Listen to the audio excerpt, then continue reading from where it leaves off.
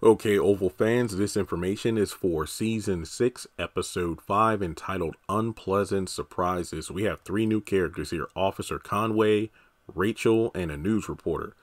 As for Officer Conway, we have white male 30s, politely diplomatic, but all business.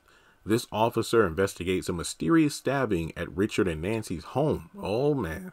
So we're starting off the season with some danger here. Uh, this officer grows increasingly frustrated as no one in attendance is forthcoming about what happened.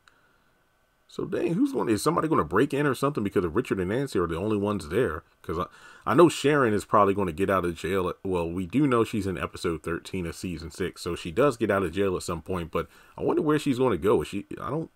I want to be honest here. Since Barry's dead, she has no reason to stay with Richard and Nancy anymore unless she's just there to help them grieve. And not to mention, she's probably well, no, she did find uh Barry's phone bloody and broken and assume Kareem did it. So I don't know.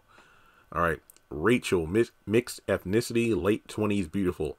This woman is confused and a bit flustered when an angry Alan demands how she gained access to his office in the White House. So this could potentially be the new Ellie, someone that is a love interest for Alan Hopefully Hunter doesn't come around to her. But yeah, I don't know. Um, could this be like an undercover agent or someone else who's hired to work at the White House? I don't know. News reporter, female, black 30s. This news reporter tries to get information from Sam about the stabbing inside Richard and Nancy's house, noting that the whole story is getting stranger and stranger by the second.